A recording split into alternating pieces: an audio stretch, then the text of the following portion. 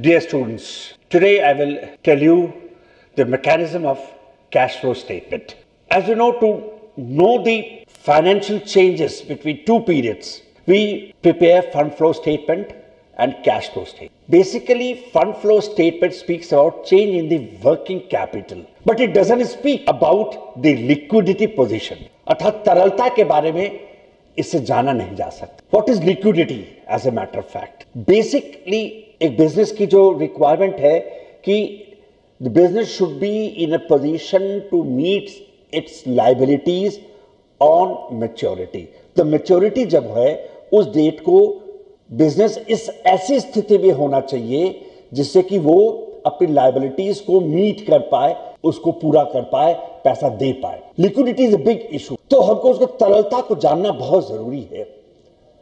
अर्थात changes in the cash position कहाँ से कैश आया? कहाँ कहाँ कैश गया? कहाँ कहाँ से कैश के आने की संभावना है? कहाँ कहाँ कैश गया? देखिए, इसकी जो रिक्वायरमेंट है, वो आपको फर्दर जब आप पढ़ेंगे कैपिटल बजटिंग जब पढ़ेंगे आप long term capital investment decision पढ़ेंगे प्रोजेक्ट के ऊपर पढ़ेंगे, तब देखिएगा, वहाँ पे देखा जाता है कि आपका कैश फ्लो कितना है? यदि कोई प्रोजेक्ट शुरू किया है वाई ज़ीरो में वाई ज़ीरो में कोई प्रोजेक्ट शुरू किया है, अर्थात वाई ज़ीरो में आपने कोई प्रोजेक्ट शुरू किया है तो आपका वाई वन से वाई एन तक आपका क्या होगा? कैश प्रोजेक्ट चलेगा कैश आएगा। तो वाई ज़ीरो में आप इन्वेस्ट कर रहे हैं। वाई ज़ीरो में आप इन्वेस्ट कर रहे हैं और वो पैसा का आपका रिटर्न कब हो रहा है? वाई वन से वाई एन तक। तो किस साल कितना पैसा, कितना कैश वो जनरेट कर रहा है फंड वो वो वो इन्वेस्टमेंट जनरेट कर रहा है, वो जानना बहुत ज़रूरी है। क्योंकि बैंक्स में यदि जब फंडिंग के लिए जाते हैं लॉन्ग टर्म फंड्स के लिए जाते हैं तो बैंक सबसे पहले देखता है कि इस प्रोजेक्ट को लगाकर जो व्यापार बिज़नेस व्यापार जो कैश पाएगा जनरेट करेगा। वो कितने दिनों में उसके पास सफिशिएंट कैश हो जाएगा कि वो हम बैंक का पैसा जमा दे पाए, वापस कर पाए। कैश बैंक का पैसा वापस कर पाए। इसलिए कैश फ्लो स्टेटमेंट बैंक वाले बहुत मांगते हैं कि आपका प्रोजेक्टेड कैश फ्लो स्टेटमेंट क्या है। अर्थात अगले इतने साल में आपका प्रोजेक्टेड कैश फ्लो स्टेटमेंट बता के बताइए, कब, किस समय तक आपका पे बैक हो जाएगा अतः पैसा वापस आ जाएगा। उसी करने के लिए उसी चीज़ के लिए हम we prepare cash flow statement so basically as it says it deals with cash inflow, cash inflow और cash outflows inflows and cash outflows अर्थात किस किस स्रोत से बेसिस पे पैसा आ रहा है और कहाँ कहाँ पैसा जा रहा है, वो पता लगाना बहुत ज़रूरी है। आप अब ये बता सकते हैं, कई लोग इस बात से लेके आश्चर्य करते हैं कि हम तो प्रॉफिट एंड लॉस अकाउंट बना ही रहे हैं, हमको तो मालूम चल जा रहा है। पर प्रॉफिट एंड लॉस अकाउंट में एक खासियत क्या है? प्रॉफिट एंड लॉस अकाउंट जो होता है, वो एक्रूवल बेसिस पे होता है। एक्रूवल बेसिस पे, अर्थात वो कैश बेसिस पे नहीं होता, वो एक्रूवल बेसिस पे होता है। अर्थात आपके कैश प्रॉफिट आपका टोटल प्रॉफिट मालूम चल जाएगा, पर उसमें से कितना कैश आप रियलाइज़ कर चुके हैं, कितना प्रॉफिट आप रियलाइज़ कर चुके हैं, ये प्रॉफिट एंड लॉस अकाउंट से मालूम नहीं चलता है। इसलिए हम कैश फ्लो स्टेटमेंट बनाते हैं। नाउ कैश फ्लो स्टेटमेंट जब बताया कि दो चीज़ होती है, कि एक होता है कैश इनफ्लोस एक होता है कैश आउटफ्लोस इन दोनों का उसमें से पता लगाना पड़ता है। सो फंड फ्लो स्टेटमेंट से क्या होता है? Fund flow statement working capital changes को बताता है। वर्किंग कैपिटल चेंजेस को के आधार पर बनता है। उसमें जो परिवर्तन हो रहा है, उसको फंड फ्लो स्टेटमेंट इंगित करता है। बट कैश फ्लो स्टेटमेंट ये इंगित करता है कि आपका लिक्विडिटी पोजीशन क्या है। अब आप कैश फ्लो स्टेटमेंट बनाएँगे कैसे? वो सबसे इंपॉर्टेंट है कैश फ्लो स्टेटमेंट आप बनाएँगे कैसे? कैश फ्लो स्टेटमेंट बनाने के लिए कैश इक्विवेलेंट और कैश को लिया जाता है। कैश इक्विवेलेंट और कैश को लिया जाता है। Cash equivalence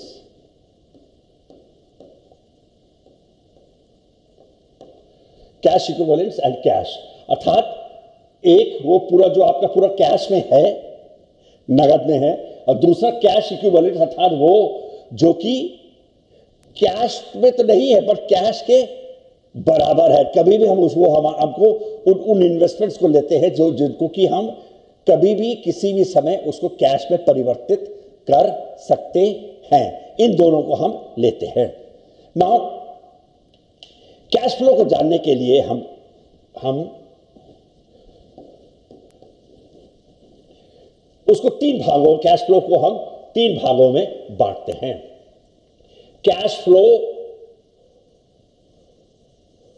from operating funds financing और investing Cash flow from operating oper,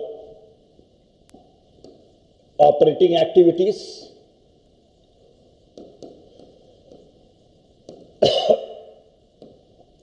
financing activities.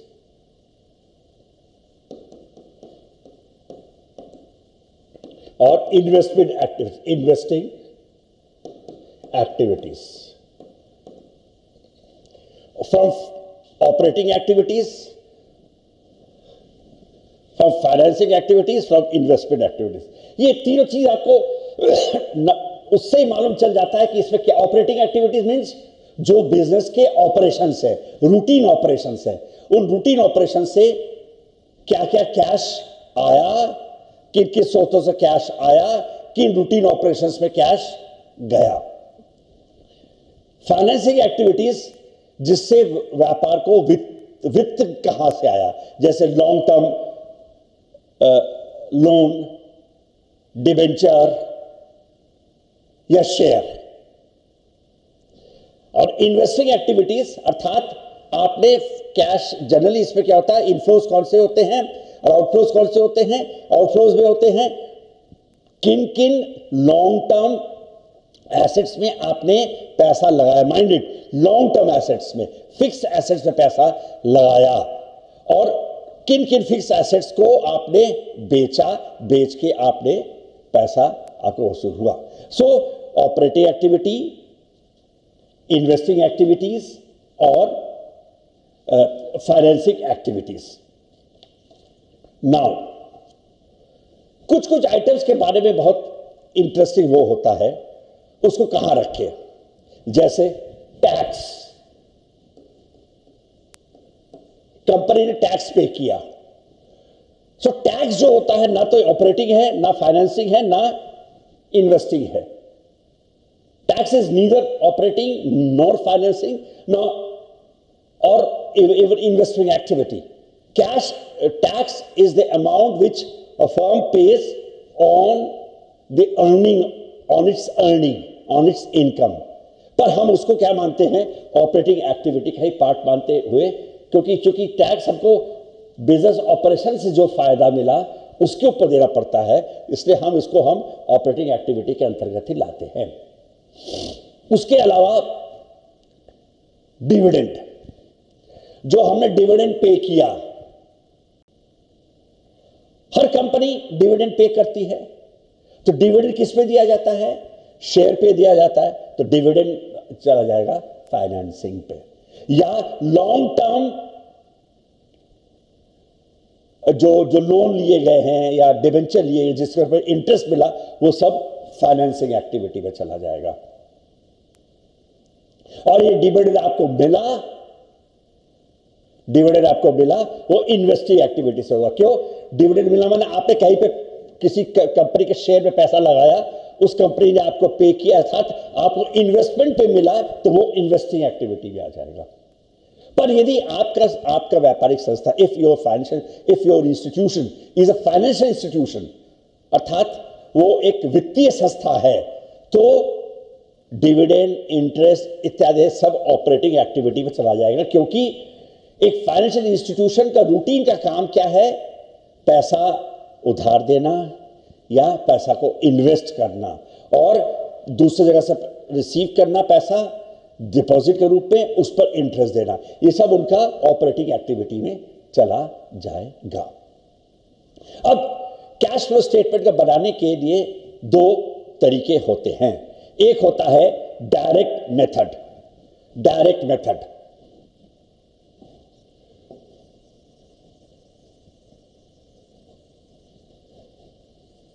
Direct method में होता है, हम हर चीज़ को डायरेक्टली हम कैलकुलेट करते हैं। हर चीज़ को हम कैलकुलेट करते हैं। हम इसमें देखते हैं कि हम कंपनी के वित्तीय खातों पर न जाकर हम उसको सबको कैलकुलेट करते हैं। अर्थात इनफ्लो में होता है cash flow from cash collection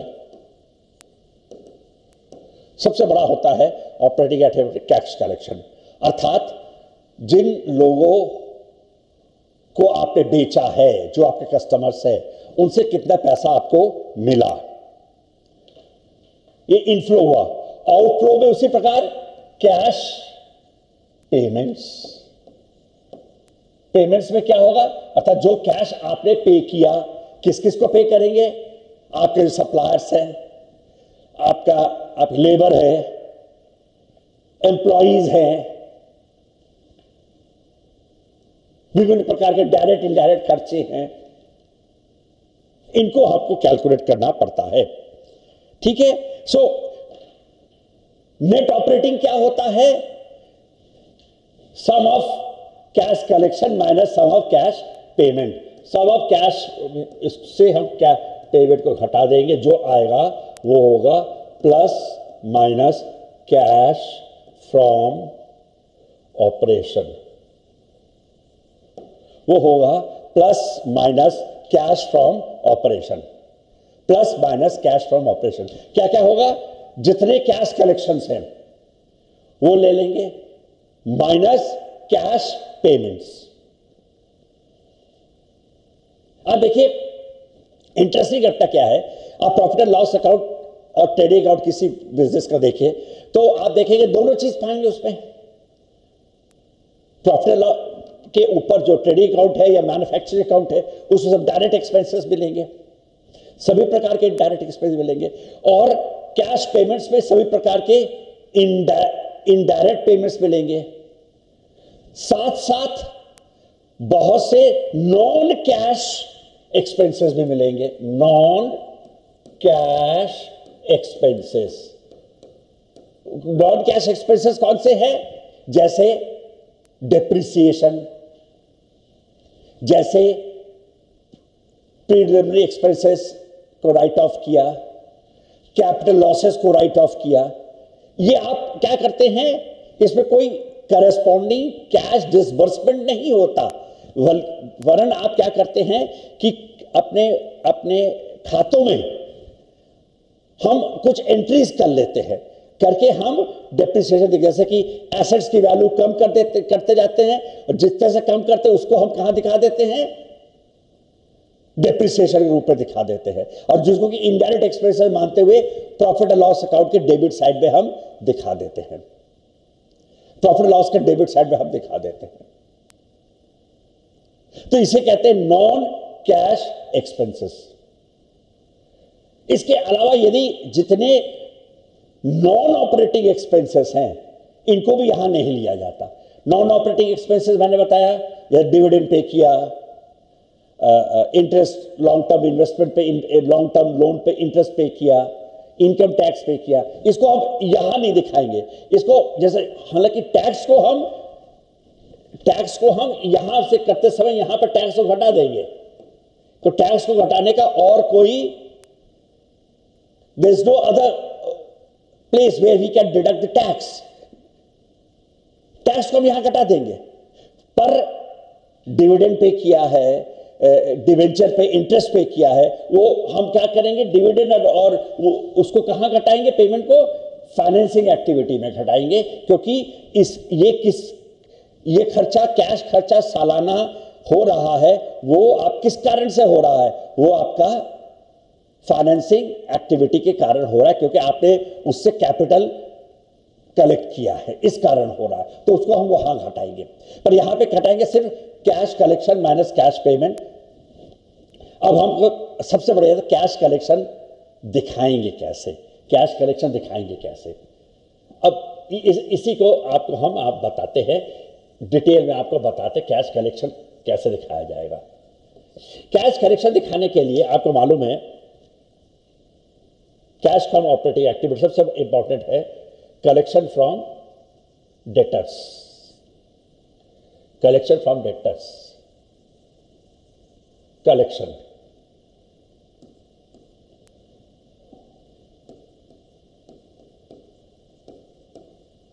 collections collections में क्या है आपका? कि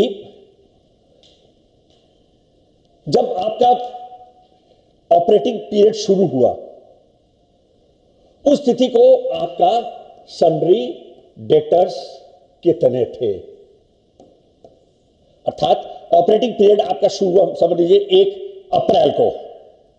सो so, एक अप्रैल के डेट में वो कितने ऐसे आपके देनदार थे डेटर्स थे, जिन्होंने आपको अभी तक पैसा नहीं दिया, जिससे आपको पैसा कलेक्शन करना है, किस साल? इस साल करना है। ये किस साल के डेटर्स हैं? पिछले साल के डेटर है, जो कि पिछले साल के क्लोजिंग डेट में थे, जो कि इस साल के ओपनिंग डेट में हो गए।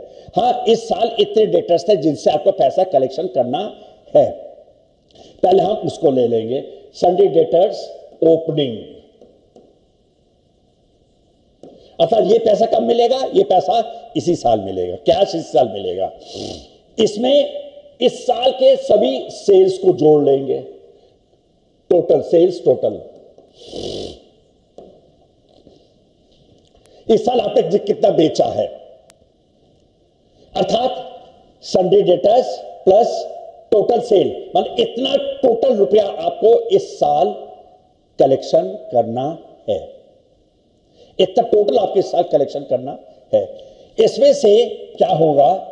Minus closing debtors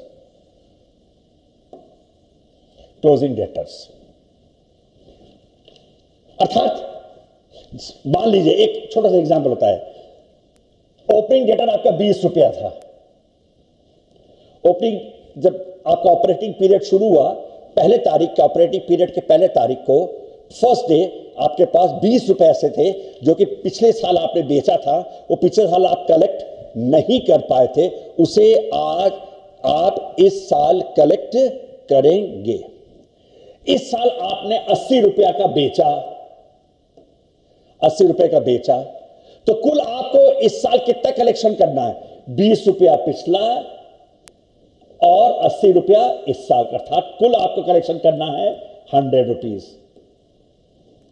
जब आपका ऑपरेटिंग पीरियड खत्म हुआ, तब आपने देखा कि आपके सैंडी डेटर्स कितने रह गए हैं जिससे आप पैसा वसूल नहीं कर पाए। आपने कहा, हमारे पंद्रह रुपया अभी भी ऐसे हैं जो हम वसूल नहीं कर पाए हैं।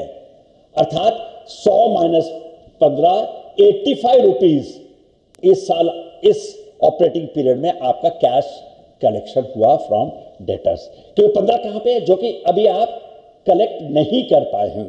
तो आपका कुल कितना हुआ? सौ माइनस पंद्रह equal to eighty five eighty five rupees जो है, वो इस साल, इस ऑपरेटिंग पीरियड में आपने कलेक्ट किया।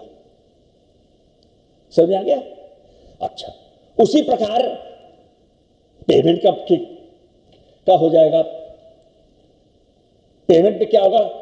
संडे क्रेडिटर्स संडे क्रेडिटर्स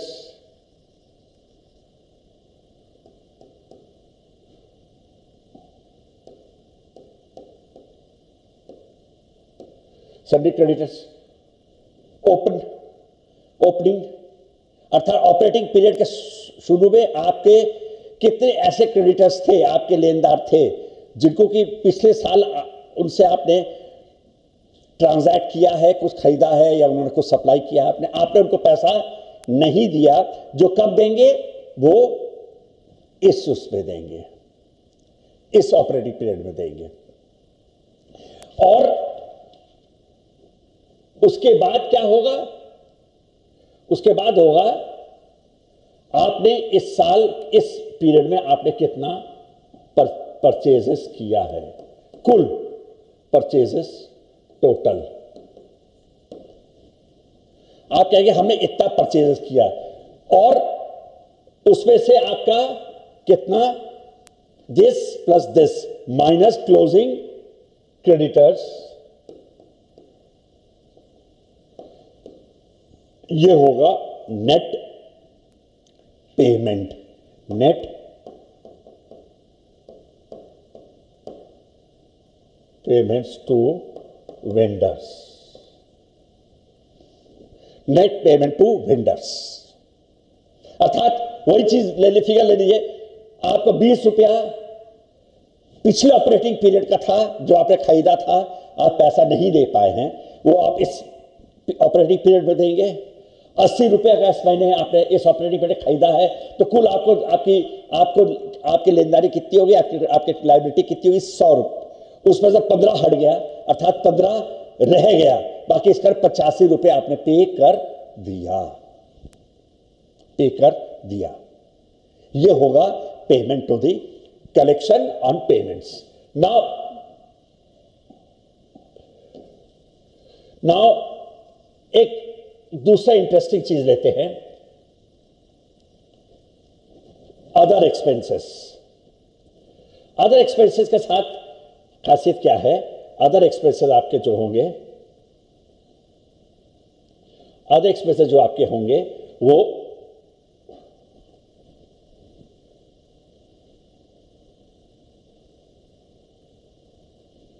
हाँ अदर एक्सपेंसेस अदर एक्सपेंसेस में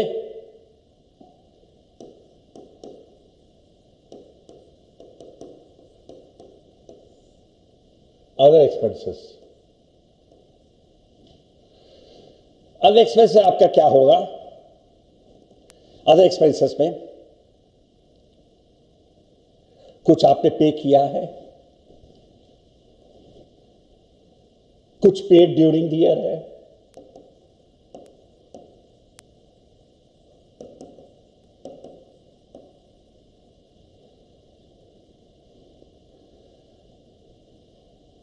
कुछ प्रीपेड हैं। अर्थात इस साल के हैं, इस ऑपरेटिंग पीरियड के हैं, जो कि आपने पिछले में ही एडवांस में पेमेंट कर दिया है। कुछ आउटस्टैंडिंग होंगे।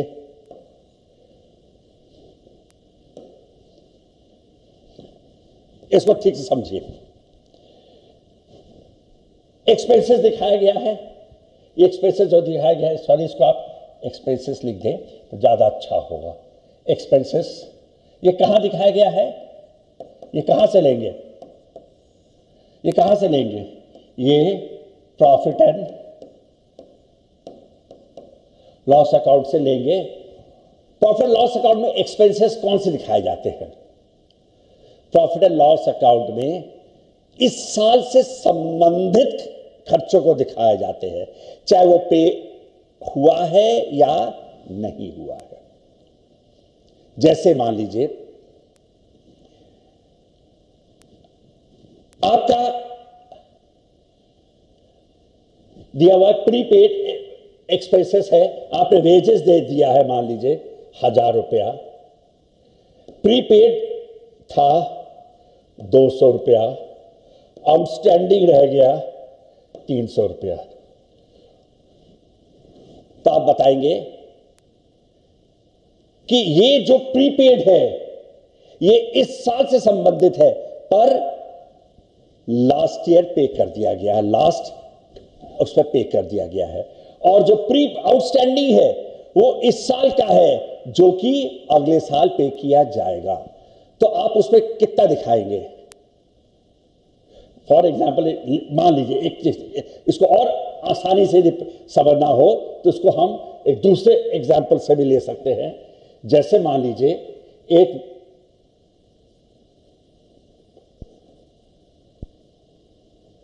एक बारह महीने का वो देना है, मजदूरी देना है बारह महीने का। इस साल संबंध बारह महीने होंगे। हमने इस बारह महीने में हमने दो महीना का वो पिछले दे रखा। हमारे महीने समझ लीजिए, बारह सौ रुपया देना है। दो महीने का हमारा प्रीपेड रखा हुआ। इसका माने क्या हुआ?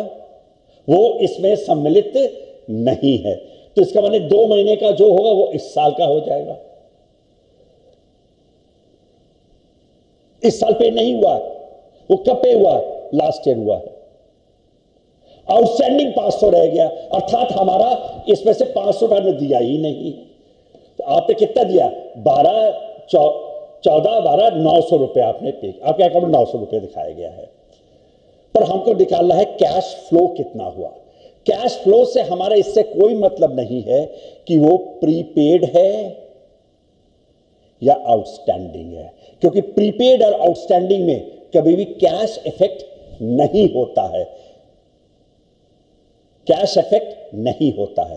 अतः हम क्या करेंगे? एक्सपेंसेस में से हमेशा हमेशा जो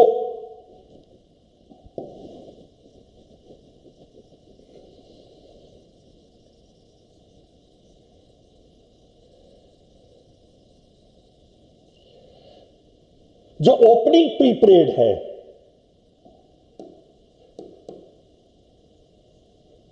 अर्थात ऑपरेटिंग पीरियड के शुरू होने में जो ओपनिंग पीरियड था, जो कि इस साल पे नहीं हुआ है, पर इस साल के हिसाब में लिखा हुआ है। क्योंकि हमें एक्रूअल बेसिस हमको तो एक्चुअल लेना पड़ता है, जो हमको देना होता तो हम क्या करें ओपनिंग प्रीपेड को घटा देंगे लेस कर देंगे। हम ओपनिंग प्रीपेड को घटा देंगे इसलिए, क्योंकि ओपनिंग प्रीपेड एक्सप्रेसेस में जुड़ा हुआ है, पर उस ओपनिंग प्रीपेड के कारण हमारा इस पीरियड का कैश प्रभावित नहीं हो रहा है, इसलिए उसको हम घटा देंगे। उसी प्रकार पीरियड के अंत में यदि प्रीपेड क्लोजिंग है, अर्थात प्रीपेड क्लोजिंग का अर्थ क्या हुआ? वो एक्सपेंसेस जो अगले ऑपरेटिंग पीरियड का है, पर इस साल दिया गया है, जिसको कि एक्सपेंसेस में नहीं दिखाया गया है, उसको हम जोड़ देंगे, क्योंकि वो हमारा चला गया। वो हमारा चला गया। कैश चला गया। पर एक्सपेंसेस में दिखाया इसलिए नहीं रहे हैं क्योंकि वो एक्सपेंस किस साल का है? अगले ऑपरेटिंग पीरियड का है। वो अगले ऑपरेटिंग पीरियड के प्रॉफिट एंड लॉस अकाउंट में जाएगा। इस प्रॉफिट एंड लॉस अकाउंट में नहीं जाएगा। पर इससे हमारा कैश जो है, वो प्रभावित हो रहा है। इससे our cash is reduced by that amount, closing prepaid amount. If my cash is going down because of closing prepaid amount, because there is cash disbursement, but there is no account, it, it is not included in the expenses for the year.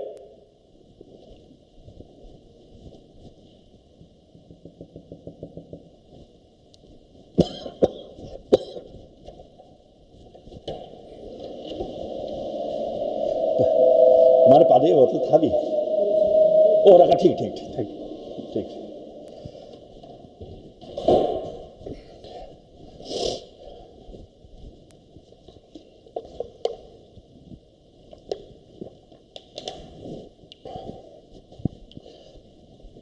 हाँ देखो तो opening prepaid के लिए वो है, इसको इसलिए घटा देंगे क्योंकि ये हमारे एक्सपेंसेस पे तो जुड़ा हुआ है।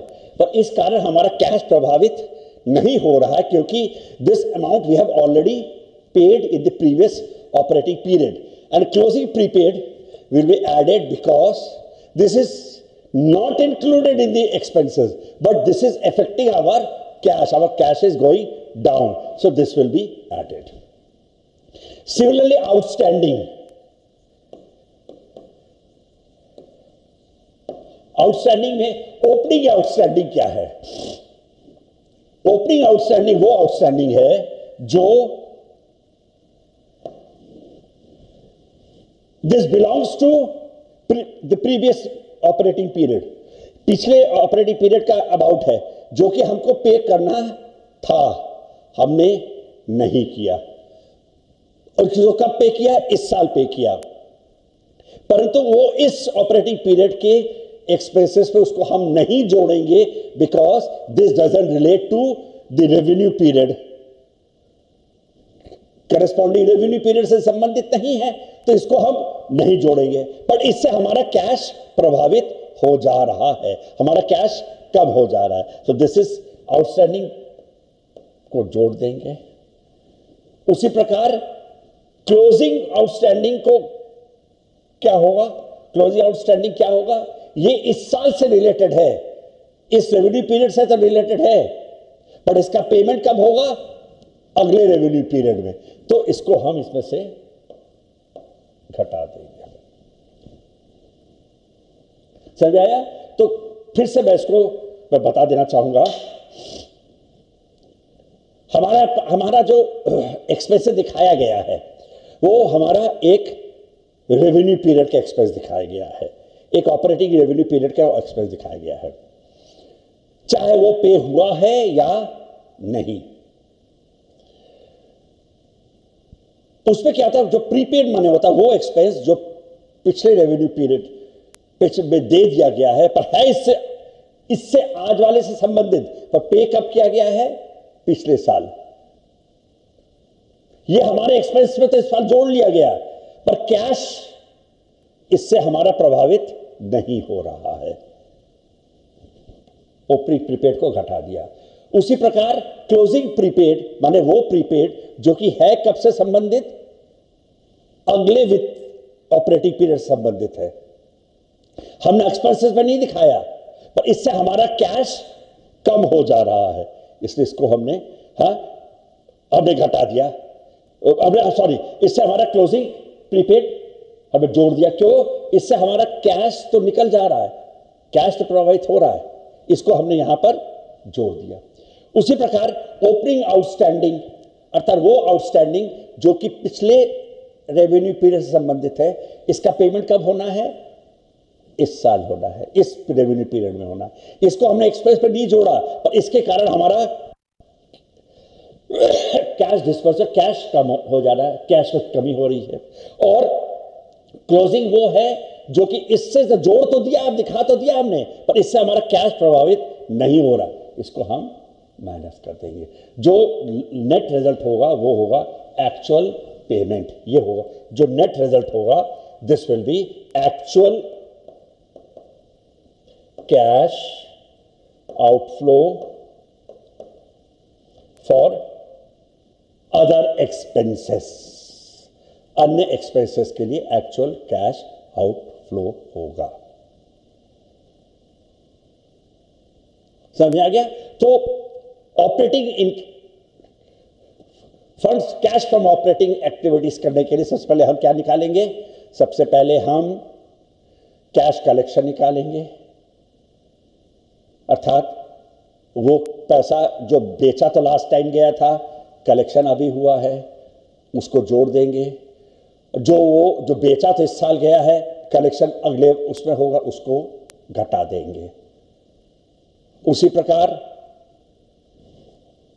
पेमेंट का भी करेंगे। अर्थात पेमेंट्स फॉर परचेज का करेंगे।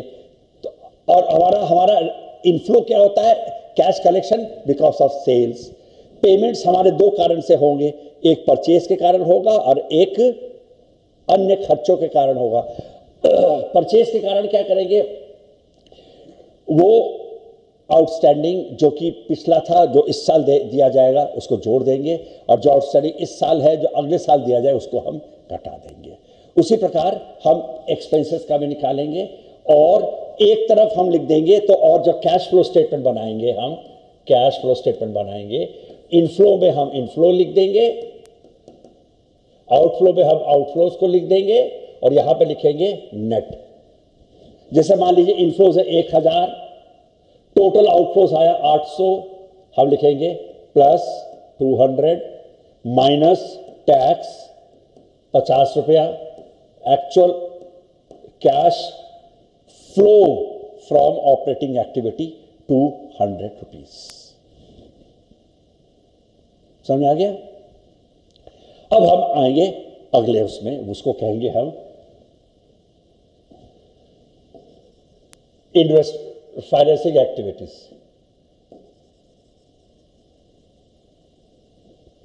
financing activity में खाली हम लोग किसको लेंगे? वो लेंगे जिसके कारण हमारा इनफ्लो हो रहा है। इनफ्लो किससे किससे होगा फाइनेंसिंग में? शेयर से इशूड नेट से, उस पर नेट को लेंगे नेट अमाउंट नेट अमाउंट माने sale proceed from shares sale proceed from shares लेंगे। पूरे को नहीं लेंगे, बल्कि सिर्फ़ सेल्स प्रोसीड फ्रॉम शेयर्स लेंगे।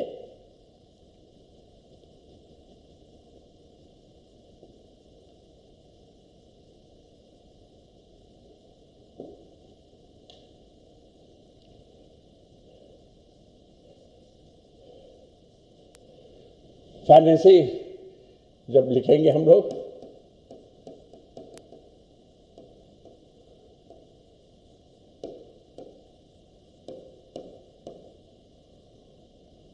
एक्टिविटी करेंगे उस पर sale proceed net sales proceed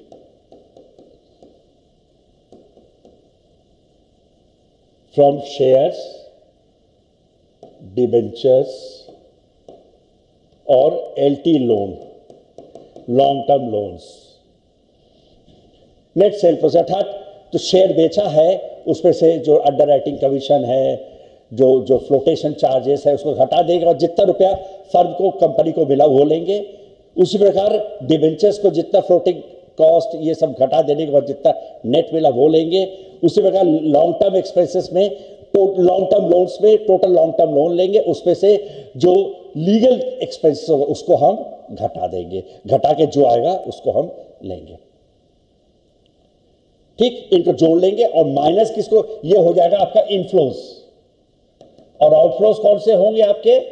outflows होंगे dividend paid interest paid dividend paid dividend किसके लिए पे करेंगे? शेयर्स के लिए. और डिवेंचर्स और लॉन्ग टर्म लोन के लिए आप क्या पे करेंगे? इंटरेस्ट पे करेंगे. सो so, इन दोनों के लिए इंटरेस्ट पेड और इसके लिए डिविडेंड पेड इसको हम इसमें से घटा देंगे. इसमें से घटा देंगे. Jehovah net from financing activity, net from investment activities.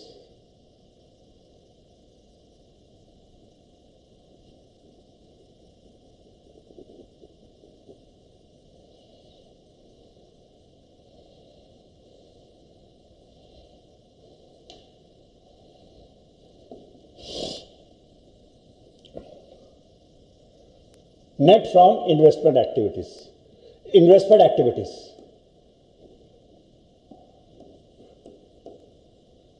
investing activities इस पे हम लिखेंगे जितने हमारे लॉन्ग टर्म एसेट्स हैं long term assets long term assets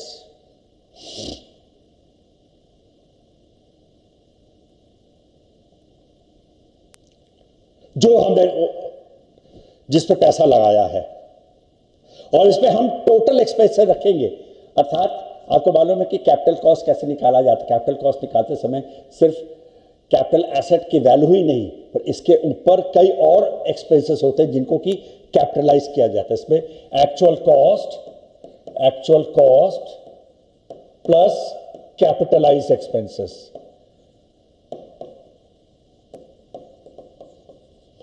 इन दोनों को लेके लॉन्ग टर्म एसेट्स ले लेंगे। और इसमें से किसको घटाएँगे? यदि डिस्पोजल ऑफ़ एसेट जो है, कोई एसेट हमने बेच दिया है, उससे जो पैसा मिला, उसको हम इसमें से घट आउटफ्लो में दिखा देंगे। आउटफ्लो में दिखा देंगे। जनरली आप आप देखेंगे कि इन्वेस्टिंग एक्टिविटीज़ हम जनरली नेगेटिव होता है, क्योंकि हम एसेट खरीदते ज़्यादा हैं बेचते कम है। अर्थात हमारा आउटफ्लो ज़्यादा होता है इनफ्लो कम होता है। उसी और फाइनेंसिंग एक्टिविटीज़ में पैसा आता ज़्यादा है, जाता कम है। तो फाइनेंसिंग एक्टिविटी जनरली प्लस में रहेगी इन्वेस्टिंग एक्टिविटी जनरली नेगेटिव रहेगी ऑपरेटिंग एक्टिविटी प्लस माइनस किसी तरह जा सकता है। बस ऑपरेटिंग एक्टिविटी से जो से जो मिलेगा, उसको हम कहेंगे cash collection from operating activity लिख लेने के बाद हम क्या करेंगे? सभी इनफ्लोज को लिख लेंगे, सभी आउटफ्लोज को लेंगे। All inflow sum of sum of inflows sum of inflows plus sum of ex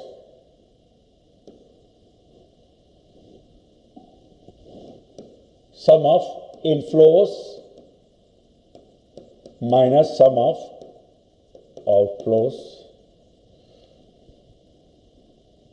हाँ लिख लेंगे। लिखते हुआ जो फाइनल रिज़ल्ट आएगा, ये आएगा। इसमें से हम ओपनिंग कैश को जोड़ देंगे, क्योंकि ये तो हुआ cash flow from various from various activities ठीक? प्लस ऑपरेटिंग जब पीरियड शो तब कुछ कैश रखा हुआ था, उसको ओपनिंग कैश को जोड़ देंगे। जो आएगा वो होगा नेट जो होगा, वो होगा क्लोजिंग कैश अर्थात ये आपका क्लोजिंग कैश है। कोई भी वित्तीय संस्था लोन देने के पहले आपसे पूछेगी, आपका ये बताइए, आपके वेरियस सबसे ज़्यादा इंपॉर्टेंट ऑपरेटिंग सोर्स है। ऑपरेटिंग सोर्स से क्या पैसा, क्योंकि होता क्या है, जो बैंक ने लोन लिया, उसका जो रिपेमेंट करेंगे रिपेमेंट करने का सबसे अच्छा तरीका होता है, आप ऑपरेट ऑपरेशन से जो कैश कलेक्शन होगा, उससे आप उसको रिपे करिए। कितना जल्दी आप उससे रिपे कर सकते हैं। एक लोन लेके दूसरे लोन को रिपे करना, ये बहुत बहुत कोई बैंक इसको पसंद नहीं कर, वो करता भैया, आप बिज़नेस करिए बिज़नेस करके बिज़नेस से आप कैश जनरेट करिए, उस कैश से आप हमारा रिपेमेंट करिए। ये होता है डायरेक्ट डायरेक्ट टेक्निक इसका एक और टेक्निक होता है, उसे कहते हैं इनडायरेक्ट टेक्निक इनडायरेक्ट टेक्निक जिस जिस, जिसपे हम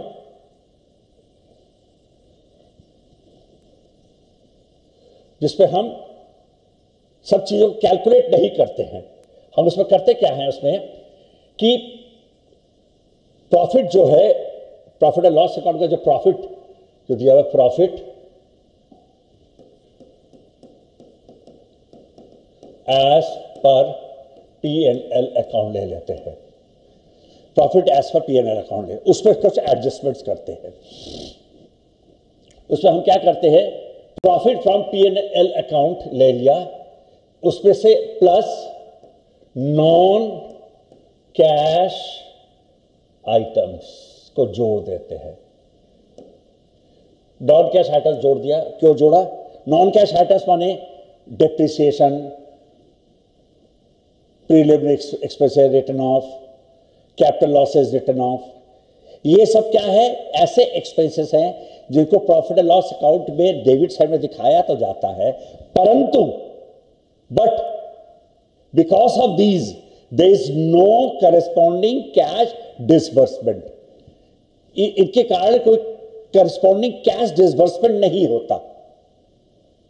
कोई कैश जाता नहीं है। इसलिए इस कारण के कोई हमारा कैश इफ़ेक्ट नहीं होता। इनके कारण these items do not affect cash ये जो होता है वो कैश का इफ़ेक्ट नहीं करता। पर ये इसमें जुड़ा रहता है। ये प्रॉफिट लॉस अकाउंट जब बनेगा जो प्रॉफिट लॉस अकाउंट जब बनेगा पी एन एल अकाउंट बनेगा, यहाँ पर डिप्रीसिएशन लिखा रहेगा। प्रीलिमिनरी एक्सपेंसेस लिखा रहेगा। कैपिटल लॉसेस लिखा रहेगा। पर इन, इनको सब डेबिट कर दिया जाता है। पर इनके कारण हमारा कैश इफ़ेक्ट नहीं होता। इसके कारण हमारा कैश इफ़ेक्ट नहीं होता। तो इन सबको हम जोड़ लेंगे। ये ऑपरेटिंग एक्टिविटी की बात कर रहे हैं।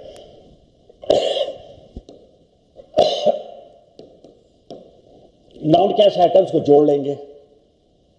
उसके बाद क्या करेंगे, देखेंगे और कौन से ऐसे एक्सपेंसेस हैं जो प्रॉफिट एंड लॉस अकाउंट में दिखाया तो गया है, पर वो ऑपरेटिंग से मतलब नहीं है, जैसे टैक्स दिखाया जाता है।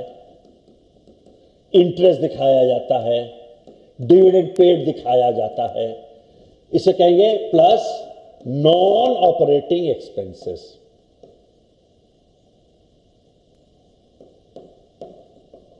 क्योंकि नॉन ऑपरेटिंग एक्सपेंसेस को इनके अपने जगह पर दिखाया जाएगा। Because non operating expenses will be shown their respective places like dividend paid will be shown in financing interest paid will be shown in financing tax will be shown after operating expenses but not है इन सबको हम पहले जोड़ लेंगे। इन सबको जोड़ लेंगे। ठीक? क्योंकि ये सब जो है, हम डेबिट करके प्रॉफिट से घटा चुके हैं। Because these items have already been deducted from the profit because हमने डेबिट साइड दिखाया, मैंने क्रेडिट साइड इनकम साइड होता है। Credit side is our income side so these items we show in the debit side that mean these items have already been deducted from our incomes so we will add back हम उसको add back करेंगे plus non operating cash operating expenses plus non cash expenses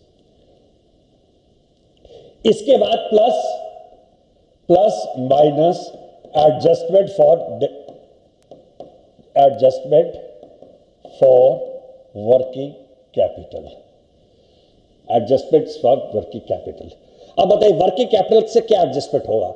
working capital माने आपका debtors creditors आपको मालूम है current assets minus current liabilities current sum of current assets minus sum of current liabilities the working capital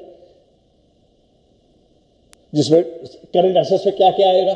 cash के अलावा debtors आएगा inventory आएगी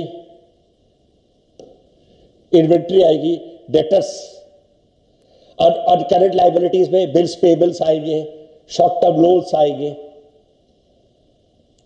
So increase in working capital is outflow of cash क्यों? अब इसको देखिए कैसे होगा। इंक्रीज इन वर्किंग कैपिटल क्या फ़र्क पड़ता है?